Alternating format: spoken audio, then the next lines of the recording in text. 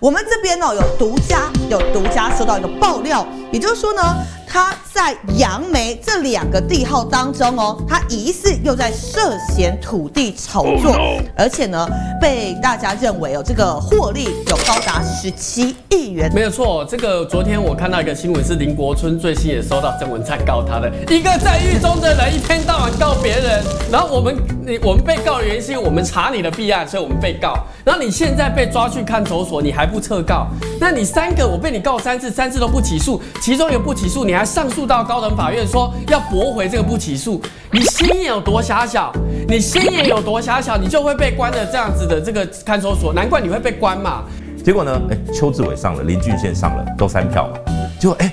林怡景，哎，他有一票，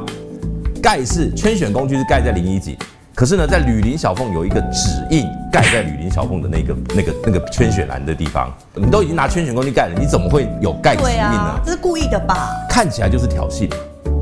哦，就是告诉你，而且我为什么要盖在吕林小凤这个，表示是我嘛？哼，所以他们全党都认为那一票就是吕林小凤。郑文灿以后，很多人猜什么会是谁会是谁？我跟你讲，我这边直接讲，